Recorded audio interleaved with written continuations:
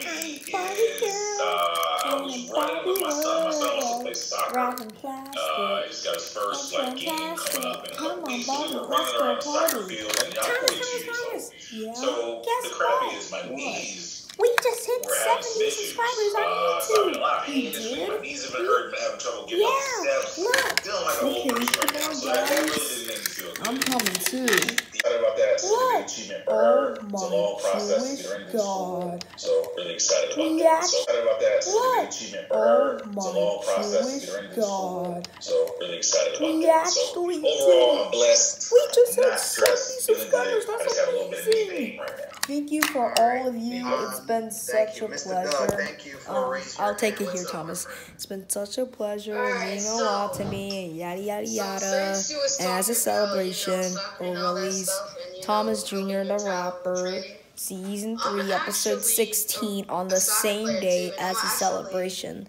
So stay tuned for that. training with me as Also, well. this that episode's gonna be all about me. I'm an expert. And me. And salty. Bye. Excuse me, I didn't hear you.